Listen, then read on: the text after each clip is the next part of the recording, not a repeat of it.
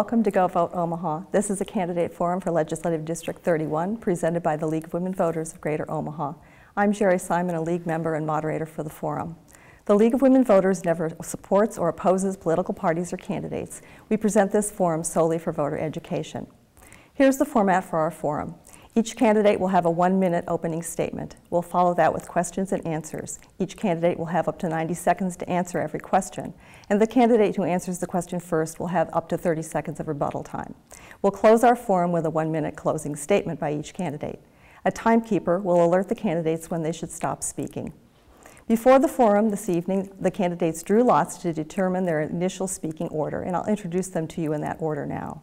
There are two candidates running for Legislative District 31 in the unicameral, and they are Ian Swanson and Rick Kolowski. And we'll go right to our opening statements, beginning with Ian Swanson. Well, thank you so very much, uh, and thank you to the League for hosting this great event. Thank you, Senator Kolowski, for being here. It's always great to talk about the issues that affect uh, the citizens of the LD 31. It really is a privilege to run for the legislature, and I'm doing so for uh, the, the reason that our conservative district needs a conservative representing it in the legislature. And um, I, it's been such a privilege meeting the thousands of people as we knock on doors every single day to hear their concerns, to hear the things that they're going through, the challenges that we face as a state and the, their ideas for solutions uh, that we can use to make the state a better place. And so, uh, fifth generation Nebraskan, uh, born and raised here, graduated from Millard North High School. I'm just so thrilled to be able to I have an opportunity to give back to my community and to implement some of the sol many solutions that I hear on a daily basis when I go and speak with uh, constituents in LD 31. It's a great district, we live in a great state, and uh, we're all just trying our part to make sure that we can make it an even better place to live, to work, and to raise a family. Thank you. Rick Kolowski. Uh, thank you very much to the League for uh, hosting this uh, event this evening and for my opponent for being here as well as far as Mr. Swans is concerned. My own uh, history is one of a lifelong uh, educator, 41 years in public education and uh, 38 years in the Millard Public Schools. The last 15 of those years in Millard, I was the founding principal of Millard West High School. I had some other elected positions uh, prior to that. I served on the Papio NRD for two terms, uh, three years as chair of that body. Uh, 2009 to 2012, I was on the four-year uh, four, I spent four years in the learning community, and 2012 to 16, of course, my first term in the legislature. Deep community uh, connections uh, have always been a part of our life, and uh, be it church, scouts, sports, and other things. And I think the uh, vision, trust, and leadership the people in the district know me by has been a real telling point as far as the uh, past four years and the election before that. Thank you. Thank you. We'll go to our first question. What is appropriate funding for community-based behavioral services? And we'll start with Rick Kolowski. The uh, topic of behavioral services are very important for uh, our community, and I have a history that goes back over 40 years in the district. At that time, we had a great many more opportunities uh, to seek services throughout the community with maybe 10 to 12 different agencies that existed at the time. Uh, the needs of students, the needs of parents, the needs of families are paramount in our district as well as all districts in the metro area. We're down to just a handful of agencies now that serve in any capacity, and that burden, especially the financial burden, is much heavier upon the school districts to try to find assistance that they sometimes hire internally to uh, assist with uh, those, uh, those uh, different students and the families they have. We try to be as efficient and effective as we can as we're working with students with the needs that they have, and it makes a big difference in their eventual success. I'm very uh, happy with the uh, direction we see things going as far as the school districts. They have the resources to deal with some of these things, but it's a mounting issue with uh, some of the dysfunctional families and issues that are going on in those families they need the help, they need the assistance uh, of the school district and professionals to put their family back in order and to do the things they need to do together. Thank you. Ian Swanson. Appreciate the question. Um, the subject of community health and healthcare in general is a very critically important issue, and it's one that I actually hear on a regular basis from constituents as I knock doors. Uh, we have a number of community healthcare facilities and agencies and nonprofits that help with this problem um, of getting the care that people need. We have a long way to go, though, in making sure that more people have access to care, uh, but also that they have reduced costs and more choice for, for patients wherever possible. And that's why um, I support market-based reforms that we can, we can implement that will enable that uh, choice and also um, add those incentives that will help reduce costs. Now, um, we've seen premiums skyrocketing. They continue to go up each year. That's a big problem. Um, and I'm, I'm committed to doing anything and everything that we can do uh, on, on a state level to help address those problems by uh, using the kinds of incentives uh, that, we, that we know will work. Market-based incentives like direct primary care that Senator Merv Riepe um, got passed into law this last year. I think there are, there are a number of things like that that we can do to help make sure that we increase access to care, that we add those market-based incentives to provide more choice, um, and make sure that people get the care that they need because obviously uh, health care is a critically important issue and it's, it definitely falls under the purview of state legislators. So I'm committed to the issue. I'm, I'm open to any solution that would help provide uh, care to people and uh, I, I also think that the state can do a lot better than, than what we're doing in terms of supporting community health right now. Thank you. Any rebuttal, Mr. Kolowski? I think the, uh, the main issue uh, continues to be one of funding. We're in a very tight budgetary uh, horizon as we have the uh, legislature meet in the next uh, uh, biennium. we're going to be facing a lot of challenges and we'll have to make health and human services an important part of the decision making that we look into. And that's, again, connected to and delivered with the learning uh, of the uh, school districts and, and, the, and the, the state as a whole as far as education. Thank you. Here's our next question. What should be done about reforming our prison system? How can we pay for new staff and boosting current salaries, things that a new report says are essential? And we'll start with Ian Swanson. Sure, I appreciate the question, and it's definitely a pressing issue in light of the recent uh, happenings that we've had across the state with our correctional facilities. It's uh, one tragedy is too many, one assault of an officer is too many, and we need to do a much better job with it. And that's why I applaud, uh, first of all, Governor Ricketts' uh, appointment of a new corrections director, which I think they're, they're in the process of implementing a number of reforms that will address some of the things that you mentioned in your question.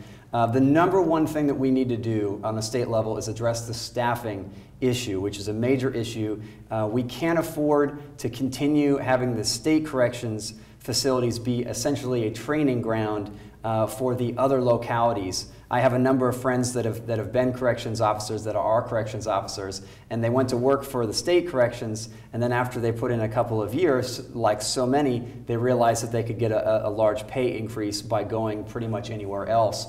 And so we can save our state money in the long term uh, by making sure that we solve the staffing issues that face the, the Department of Corrections right now.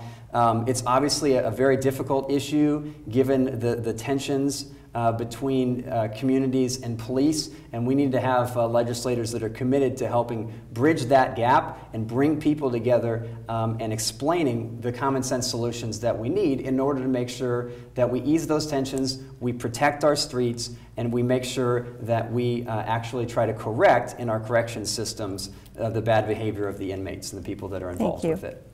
Rick Kolowski. I, uh, I stand against privatization of uh, prisons.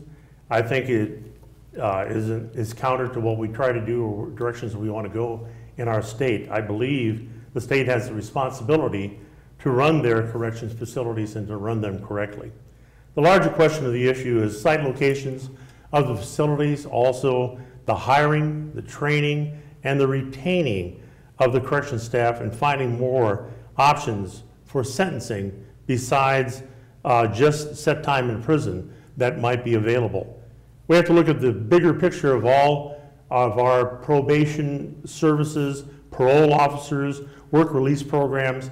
All those things need to be examined as we look at the, uh, the question of corrections in our state. And we have to remember the things that we don't, that we decide not to go for today can come back and haunt you in the very near future. That happened in the situation we find ourselves in now, and we have uh, a great deal of consternation in the state as we've had hearings in the last year that have pinpointed the lack of decision-making on the part of uh, individuals in our state as far as the uh, corrections directions were concerned. So I'll stand again against prison privatization. Thank you. Any rebuttal, Mr. uh, Swanson? Certainly. I, first, I want to say that, that there's an important distinction to be made here. And uh, one, I would never vote uh, to reduce mandatory minimums for, man, for uh, violent criminals. I think that would be a tragedy to release more people uh, like Nikko Jenkins out onto the streets early. So, first of all, we need to make a distinction between violent and nonviolent criminals. I'm a big fan of drug courts and mental health courts and these kinds of specialty courts that can make sure that people get the care that they need and actually address some of these problems for what they are health problems. Thank you. Here's our next question. What changes in sales taxes can be made to increase revenue without making our taxes more regressive than they already are? And we'll begin with Rick Kolowski. I appreciate the question, and it's one of uh, dear concern to all of us. As we look at the three-legged milk stool, uh, the whole aspect of property taxes uh, tied into sales tax and income taxes uh, is one that's uh, out of whack at the current time by anyone's judgment and uh, decision in the uh, state of Nebraska. As we look at the sales tax issue, my major concern is one of exemptions. I've heard more talk in the legislature in the last two or three years about the list of exemptions that exist for different bodies within the state, asking questions about how they got to be in place and what we lose as far as the possibility of revenue coming into our state that would be useful to our total tax load. I think we need to have a reexamination of the exemption lists that exist, uh, much to the consternation, I'm sure, of some people within our state, and we need to open that book up, look at the, that voluminous list of those things that we're not taxing that uh, become impactful to the bottom line of our tax dollars in the state of Nebraska. Thank you. Thank you. Ian Swanson. It's a, it's a great question, and the subject of taxation in general is something that I hear very frequently on the campaign trail. Uh, tax reform is my number one priority. 80% of people, Republicans, Democrats, and independents, on a daily basis when I knock doors, tell me that their taxes are too high. And it confirms the, the numerous studies that have come out recently saying that Nebraska has the, the second highest total state tax burden of any state in the country. So, first, I want to say, in regards to sales tax, that tax shifts are not tax cuts. So if we're going to be concerned about tax cuts and actually providing people tax relief, merely shifting tax burden from one person to another is not the right way to go. First, we need to address our spending problem. We need to seriously stop growing government at 6 and 7% a year uh, because Every time you do that, you have to reach into somebody's pocket or find another source of revenue. The best way to grow revenues in our state is by growing the state. Economic development is a huge deal, and by making our tax code more competitive, we can draw businesses and individuals into the state, bringing in money, bringing in jobs, great high paying jobs, and making sure that as we grow over the next 10 years, that the revenues increase as well, which can help us pay for some of the priorities that we're talking about today. So I don't think that um, sales tax shift is, is going to help uh, be a tax cut for the people that I talk, talk to on a daily basis. I'm concerned more about providing relief in whatever form that take. I would, I would support that kind of reform. Thank you. Any rebuttal, Mr. Kolowski? Well, I think the, uh, the question of how high our taxes are is one that you'd have to look at a number of different sources to examine. Saying that we're second highest in the, uh, in the United States is uh, uh, one opinion, but it's not the only one that's out there. You have to look at a lot of different uh, studies and uh, analysis by the professionals in the field to find that uh, we are up and down in different taxes in different ways, and how that impacts the, the daily Nebraskan become a concern for all of us. Thank you. Here's our next question. Do you support advancing a proposal for charter schools in Nebraska? Do you support use of school vouchers or scholarships that really are the same thing as vouchers? We'll start with Ian Swanson. I appreciate the question. Uh, the fundamental question behind that is really how do we provide the best education for our kids that we possibly can? So, first, I want to say that uh, as a graduate of Millard Public Schools, I really appreciate and respect uh, the, the, the, need to have strong public schools, strong pri- private schools, strong home schools. Uh, and, and Millard is, is exemplary in terms of providing great choices of a variety of different curriculums to parents. Uh, second, education is a team sport. It requires the cooperation of parents and teachers and administrators, like Senator Kolowski when he was principal of Millard West, um, but also students and a number of other people. So we need to make sure that we empower and equip uh, parents to make the best decision as to what uh, school is, is best for their kids. So I'm I'm primarily concerned about making sure that in those districts like Omaha Public Schools, where uh, large numbers of minority kids are graduating without being proficient, I am very much concerned about how we can provide them great choices of education. Um, and so I'm, I am open to scholarships and, and anything that we can do to give people access to great schools like Millard. Um, to make sure that we can try to replicate the Millard model across the state.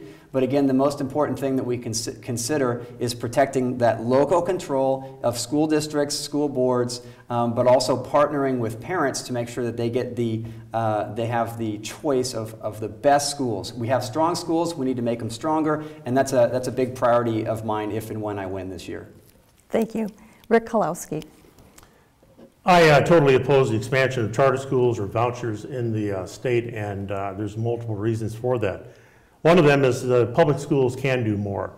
There's a wide variety of quality existing in public schools across the state. Uh, we know uh, because of our Millard experience, Millard gets the best, one of the best bangs for the dollar than anyone in the state, one of the lowest per pupil average of spending uh, with the highest, some of the highest scores available in the state. The uh, charter school results are very spotty at best across the country, use of vouchers or charter schools uh, we haven't even looked at some of the national materials that are available uh, across the state. Uh, the Breaking Ranks material from the secondary school principals is all about school improvement. I've been on two national Blue Ribbon School uh, committees that have been accepted. The first one in 1984 was Millard South. It was the first school in the state to be selected as a high school for a Blue Ribbon. And then in 2001, also Millard West uh, was accepted in the same way, and we're very proud of that. We need the right leaders to develop and the right culture and climate in buildings to improve student performance. Mr. Swanson has uh, designated charter schools as something that he has as one of his top goals in a radio program that was in 2015, and unless that's changed, uh, the use of the dollars for charter schools and vouchers is unacceptable to me. Thank you. Any rebuttal, Mr. Swanson? Certainly, uh, I appreciate it. The, the biggest thing that we can do, anything that we can do to provide better choices, better, better access to education for our kids, is absolutely essential. I don't believe that uh, top down bureaucrat driven policies like Common Core do any good in our schools whatsoever. They're talking about the results being spotty at best. I think that uh, local school boards and parents are the best people to make decisions for their students. And uh, also, I think that if you look at the track record, uh, of, of, of school choice in predominantly minority areas, I think that this track record is Thank actually you. a very good one. Thank you. Thank you. Next question. What should be done about the state budget shortfall? If your position is that you don't want to raise taxes or you want to reduce taxes further, tell us exactly which services you would cut to balance the budget and be very specific. We'll start with Rick Kolowski. Well, the uh, forecast at the current time is one that uh, will be challenging as we return to Lincoln in uh, January. Uh, our work will be cut out for us because the, uh, the work of the Appropriations Committee and the Revenue Committee will be paramount as far as the, uh, the daily decisions that we'll be making on the floor concerning the, the money that we'll have in our state. being as efficient and as effective as we can possibly be is the goal that we have, along with improved student performance as it comes to schools uh, or any of the agencies in Lincoln. Uh, we have to remember that we have 22,000 uh, graduates on a, a, yearly basis in the state of Nebraska. Where those students go becomes an impact upon our state. We hope to keep them home. We hope to keep them in our state and have them take the courses and take the classes and take the degrees that, that will keep them active and living in our state, becoming contributing tax member, tax paying members in the future. So I think it behooves every agency in the state with the leadership from all forms of government, looking at the, uh, the issues of how we become more effective and more efficient as we move on. We're challenged also, though, by different things that have happened in our state. As we look at the TEEOSA formula for school funding, uh, I've talked to Ron Withem, uh, who in 1990 was in charge of that, and we didn't even have the word poverty in that discussion. Thank you. Ian Swanson. I appreciate it. Um, I think I think that it's in- incredibly important to uh, provide leadership on budgets, and budgets are, are primarily about priorities, and that's why I commend Governor Ricketts uh, for sending that letter to the various agencies telling them to tighten their budget to help address the budget shortfall. Um, I, I don't think that in order to keep students here, um, I don't think that raising taxes continually and spending more money is going to continue to make our state competitive. I think that actually makes our state less competitive for millennials like myself to stay in the state. Now, I'm staying for the long haul regardless because I'm a born and bred Nebraskan, but there are so many things from a public policy perspective that we can do to make sure we keep those, those kids here in the state, those people here in the state.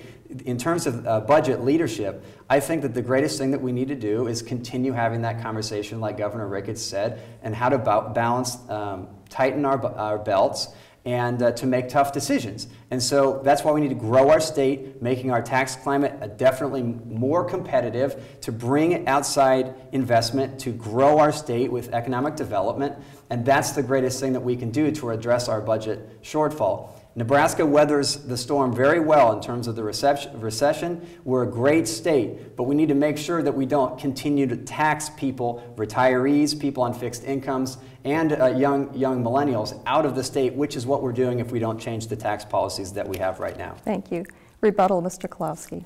I think uh, the whole idea of growing the state is right on target. We have to do the things we can do to bring in uh, different opportunities uh, for families uh, the issue of the, the Costco plant up in Fremont is a very hot topic, depending on how you look at it and the direction that we're going in the future.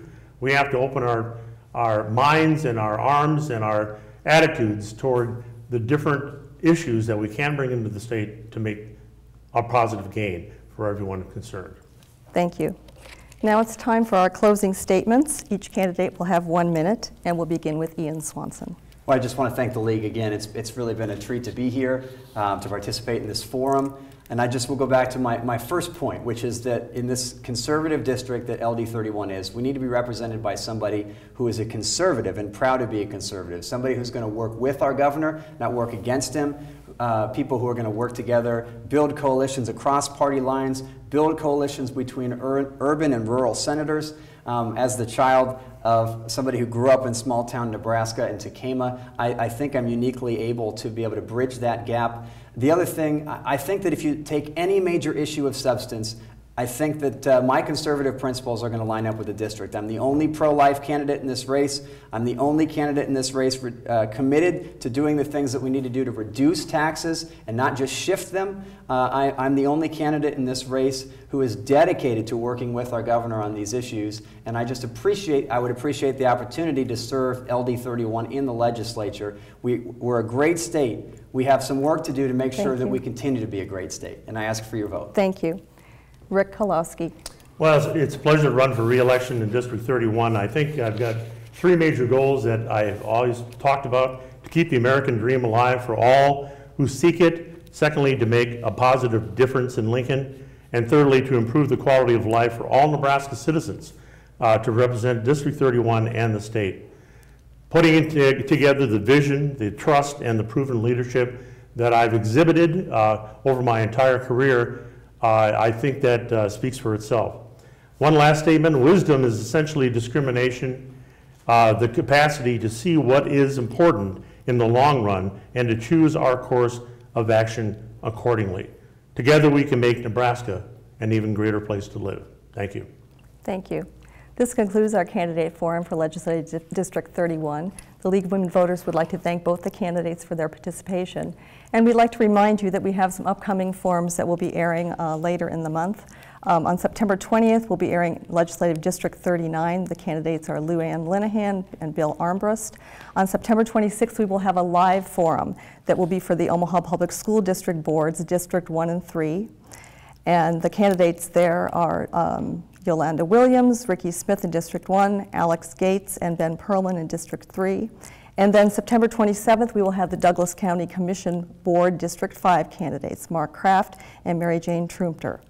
Um, October 14th as well, we will have a forum in conjunction with the Omaha Press Club. That's at, um, for, for Congressional District 2 with uh, the candidates are Brad Ashford and Don Bacon, and that will be at noon at the Press Club. Anyone can attend. It is a paid luncheon, so you do need to uh, RSVP and let them know that you'd like to attend that forum.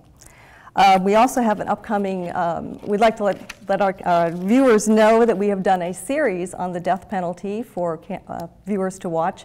We did three programs one on morality and justice, one on lethal injection and legal issues, and one on religion and the death penalty. And those are available for you to watch at any time on our YouTube channel. You can find those programs with a link through our website, which is omahalwv.org. And we also want to remind you that, again, the League of Women Voters never supports or opposes political parties or candidates. We do study issues, however, and we often take positions and action on those issues. Um, contact information is on your screen now for the League of Women Voters. You can contact us at omaha uh, lwv at gmail.com and go to our website at omahalwv.org. For the League of Women Voters, I'm Geri Simon, reminding you to inform yourself about the issues and the candidates. And on Tuesday, November 8th, go vote, Omaha.